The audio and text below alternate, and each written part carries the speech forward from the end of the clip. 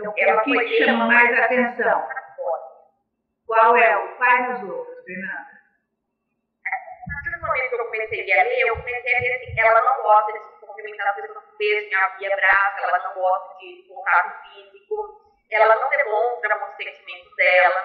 Mesmo quando eu pergunto, ela tá meio sem jeito de falar, ela não gosta de demonstrar. Mesmo com os irmãos, tem dois irmãos mais novos também. Ela demonstra com os irmãos muito, não gosta muito de beijo. E quando ela fica numa situação tímida, ela começa a tocar, pegar as mãos, o cabelo, e puxa o pé para trás, e se balança, ela fica incômoda, assim.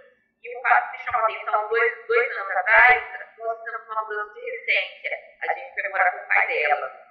E ela voltou a fazer xixi na cama, ela não se adaptou, ela chorava bastante, ela não, não queria que ela todo dia, ela eu quero ir embora da minha casa, que é a casa da, da avó. Eu embora da minha casa, não quero ficar aqui, chorava.